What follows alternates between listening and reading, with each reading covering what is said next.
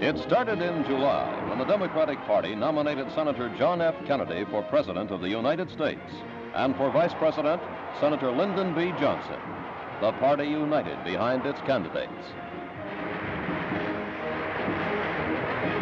Richard M. Nixon was the choice of the Republican Party.